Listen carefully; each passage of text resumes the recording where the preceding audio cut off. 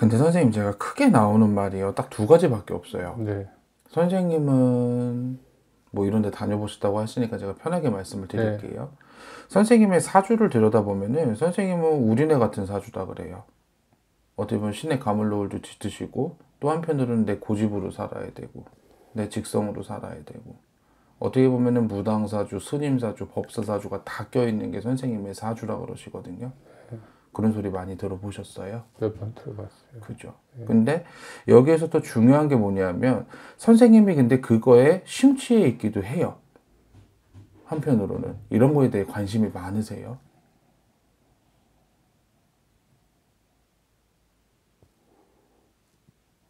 관심이 많으세요? 아니 별로 크게 관심이 들지 않았는데. 음. 예. 두진 않았는데. 아니요. 난 선생님 이런 거에 관심이 있다 그러는데. 어, 그래요. 네. 어, 그렇다고 해서 뭐 선생님이 머릿속으로 나는 뭐, 뭐, 흔히 말해 뭐 무당이야, 뭐야, 이 정도까지는 아니더라도 이상하게 내가 피부로 땡기고 어떻게 보면은 자꾸만 이런 데를 안 다녀야지, 안 다녀야지 하지만 이상하게도 관심이 가요. 뭐, 그러니까 오셨겠지. 아니었으면 안 오셨겠지. 예. 근데 여기에서 또 중요한 게 뭐냐면 우리 선생님의 사주를 놓고 보면은 선생님이 마음에 힘이 없어요.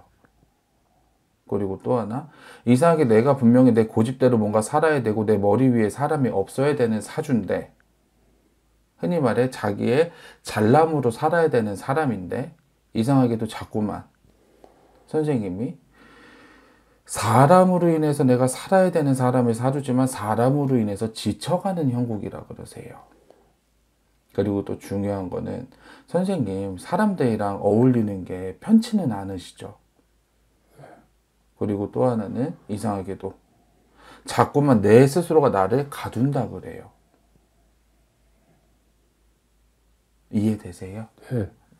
그렇다 보니 내가 뭔가 활동적으로 바깥 세상으로 가야 되는데 그러지 못하고 자꾸만 집에서 잠만 잘라 그래요. 집에서 안 나갈라 그래요. 밖에 나가더라도 그냥 내가 하늘을 보고 걷는 게 아니라 땅만 보고 걸을 수밖에 없는 사주다라 그러세요. 근데 여기서 중요한 게 뭐냐면 선생님 이런 데 다녀보셨다 그랬잖아요. 네. 무당들이 구타라 소리 안 하던가요, 선생님한테? 어, 한두 번 그런 얘기 들었었어요. 그죠. 예. 해보신 적은 있으세요? 아니 없어요. 그죠. 예. 선생님은 내가 하나만 물어볼게요. 이 무당들이 무슨 말을 하잖아. 네. 그럼 그게 좀 귀에 담겨요? 네.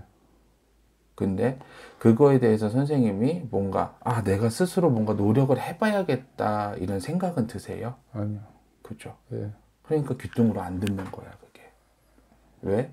아까 그랬잖아요. 선생님도 가물노을이 있고, 어떻게 보면은 나의 이러한 게 있기 때문에, 아, 그냥 재미로 봐요. 아, 무당들이 무슨 소리 하면은 그래, 듣기는 해요. 근데, 아, 아, 하지는 않아요. 귀담아 듣지는 않아요. 왜? 내가 잘난 사람이니까. 않은데. 음.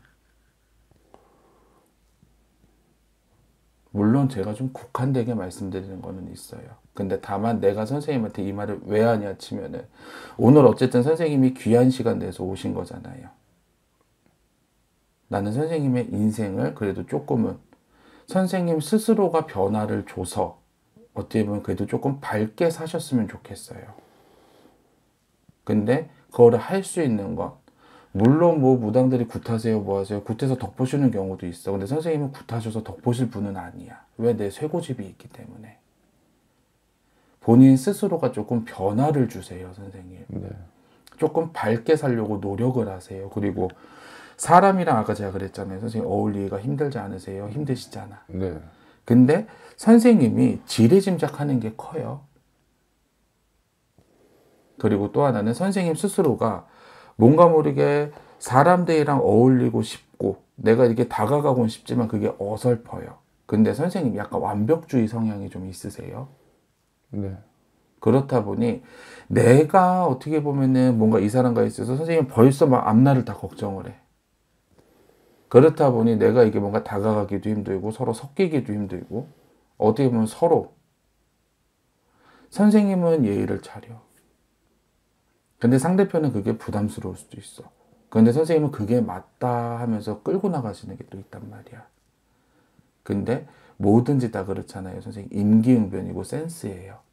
내가 아무리 걱정을 하고 아무리 계획을 세워도 그 계획대로 되는 것도 없고 그 걱정이 일어나지 않으면 선생님 혼자만 지친단 말이에요. 되도록이면 선생님 생각 많이 하지 마시고 좀 간단히 사셨으면 좋겠어요. 그리고 또 하나 우리 최씨 선생님의 사주를 놓고 보면은 선생님은 한편으로는 내가 문서를 만지는 일도 참 잘 맞으시지만 이상하게도 내가 나의 재간 재능으로 먹고 살아야 되는 분의 사주시거든요. 나의 기술로 무슨 일 하세요, 선생님? 지금은 쉬고 있어요. 원래 무슨 일을 하셨어요? 원래 뭐 여러 가지 일을 했었어요. 장사도 하고. 음. 네. 근데 선생님이 지금 연배가 없으신 게 아니시잖아요. 네. 죄송하지만 제가 한 번만 깔게요. 네. 그렇다 할 이력은 없어요. 네. 그죠? 네. 여기저기 뜨문 뜨문 뜨문 뜨문 그럴 수밖에 없어요. 왜냐? 선생님도 가물노을이 아까 제가 있다고 말씀을 드렸잖아요. 네. 그렇다 보니 내가 뭔가 일이 좀 편하다 싶으면 사람이 지랄이 날 수가 있고 또 사람이 좋다 그러면 선생님이 지쳐가지고 일이 힘든 수가 있고 이 레벨이 안 맞아요. 그렇다 보니 내가 뭔가 진득거리 하고 싶지만 자꾸만 타의가 생기고 자의가 생기고 근데 나는 선생님 크게 뭔가 그럴싸한 것보다도 어떻게 보면 나는 선생님이 차라리 그냥 단순 노동 계열의 일을 해보시는 것도 나쁘지는 않으실 것 같아요. 그냥 내가 일하는 시간에 크게 뭔가 생각하지 않을 수 있고 일하는 시간에 그냥 내가 개인적으로 토토토토 끝내서 월급 받고 봉급 받고 끝. 왜냐? 선생님은 내가 만약에 직장 생활을 해요. 그러면 거기에서 직장 생활도 어떻게 보면 정치라는 게 있을 수가 있고 사람들이랑 어울려야 되잖아요. 거기에서 숨이 차질 수가 있어요. 그리고 또 하나 내가 만약에 뭐 내 가게를 해 장사를 해 그러면 나 혼자 할 수는 없잖아요 모든 가게가 네. 직원들을 둬요 아니면 같이 일하는 사람들을 둬요 그럼 그 사람들을 다루기가 힘들 거야 왜 선생님은 완벽도가 높은 사람인데 내 스스로도 내가 내 완벽도를 채울 수가 없는데 남이 어떻게 내 입맛을 맞춰주겠어요 그러다 보니 당연히 트러블이 생길 수밖에 는 없어요 그렇기 때문에 되도록이면 나는 선생님이 편안하게 생각 없이 혼자 하실 수 있는 일, 그러한 일을 좀 찾아보시는 게 어떨까 싶어요. 네. 그리고 또 하나, 선생님 가물노을이 있다고는 하지만 우리처럼 무당할 사주는 아니세요. 네. 그리고 또 하나, 선생님 사람이 강한 것도 좋아요. 고든 것도 좋아요. 근데 강하고 고들수록 오히려 산들바람에도 부러질 수가 있어요. 네. 그렇기 때문에 되도록이면 선생님 나를 좀 아끼세요. 네. 왜? 선생님은 가장 큰 장점이자 단점이 장점으로 자리 잡을 수 있는 거는 머리가 비상하세요. 근데 그게 단점으로도 다가와. 왜? 생각이 많다 보니까 이 생각 속에서 선생님이 지쳐요. 그런 것만 조금 유념하시면 그래도 올 한해 선생님이 좀 편하게 넘어가시지 않을까 저는 싶네요. 네. 일단 제가 크게 나오는 말은 이렇고요. 오늘 뭐가 궁금해서 오셨어요? 아, 다른 게 아니라 음. 아르바이트를 하려고 알바천국에 광고를 냈는데 음.